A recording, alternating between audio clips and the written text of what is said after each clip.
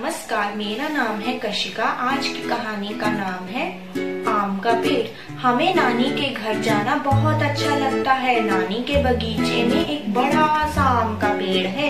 वहाँ पर बहुत सी चिड़िया रहती हैं। मुझे आम के पेड़ पर छुपना बहुत अच्छा लगता है। मुझे वहाँ कोई ढूंढ नहीं पाता। एक दिन में छुपके से आम के पेड़ पर जाके छुप गया।